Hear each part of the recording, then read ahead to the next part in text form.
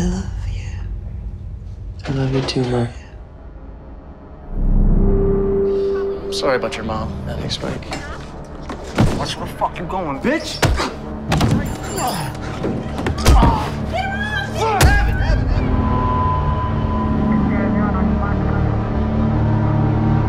Get out of town, Evan.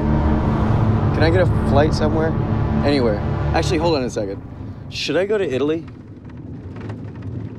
What?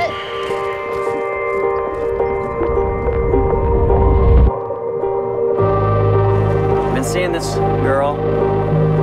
She's really pretty. But she gives me some doubts. You're the most attractive person I've ever seen. But that doesn't outweigh that you might be a mental patient, and I gotta make sure you're the kind of crazy I can deal with. No, no. I'm a bunch of confusing biochemistry and some crazy hormones.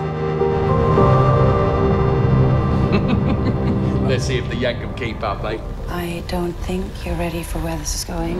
Explain it to me. I don't know how much longer I'm gonna stay here.